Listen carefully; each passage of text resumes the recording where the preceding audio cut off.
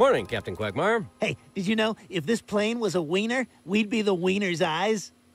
Hello, this is your captain speaking from the, uh, cockpit. A lot of penis stuff from you today. Quiet, you don't talk. Now, please enjoy this in flight music I brought with me from my glove compartment. Oh, well, everybody's heard about the bird. Bird, bird,